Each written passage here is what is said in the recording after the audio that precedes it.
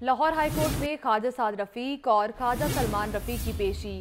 Police کی اضافی نفری لاہور ہائی کورٹ میں تعینات کر دی گئی ہے۔ اس حوالے سے مزید تفصیلات جانیں گے محمد اشفاق سے۔ جی محمد اشفاق، بتائیے گا کیا تفصیلات ہیں؟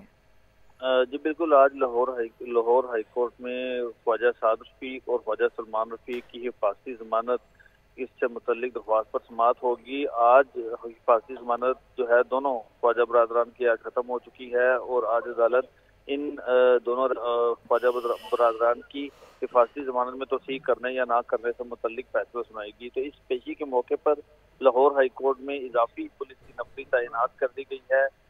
جو سیکیورٹی اہلکار ہیں، ڈنڈا بردار فورس ہے، وہ لاہور ہائی کورٹ کے ارد گرد تعینات کر دیے گئے ہیں تاکہ کوئی ناخوشگوار واقعہ رونما نہ ہو سکے۔ لیکن خواجہ برادران کے جو وکیل ہیں، وہ آج حفاظتی ضمانت میں توسیع کی درخواست کریں گے اور اس حوالے سے عدالت کو یہ بھی بتائیں گے کہ ابھی ٹھیک ہے آج خواجہ برادران عدالت پیش ہوں گے۔ بہت شکریہ محمد اشفاق آپ کا۔